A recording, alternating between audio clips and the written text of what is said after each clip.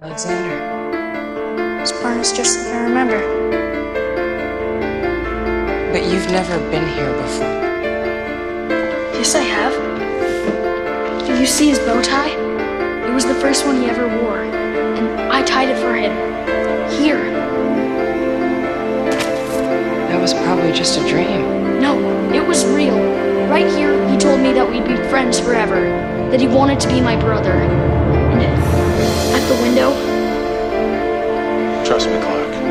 I told him that Our our friendship friendship would be the is not a of legend. legend. Alexander, if that's what you want, you have a chance to make that happen. How can I ever trust Clark again?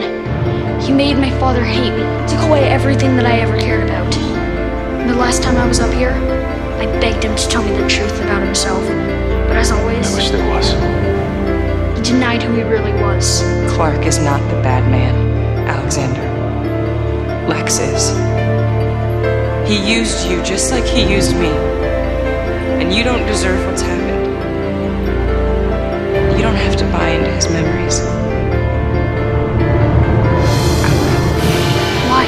So you feel good about yourself? So you can exorcise those demons deep within your soul? Isn't that what you've always wanted? To save the world so you can redeem the evil inside you? Stop it. You couldn't do it alone, clung to powerful men. Enough. First Oliver Queen, then me, then Zod, and now Clark Kent. I'm so sorry. I shouldn't have done that. I, I just want to help you. I know that I can do this. I know that I can save you. How can you save me when there's so much you don't even know about yourself? Please. Please. Alexander. Don't call me that. My name is Lex. Not a killer, not yet. You can come back. I'm the last Lex Luthor.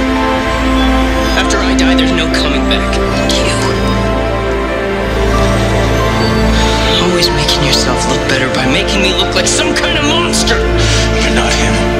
You keep blaming everybody else, but look who has the gun in their hand.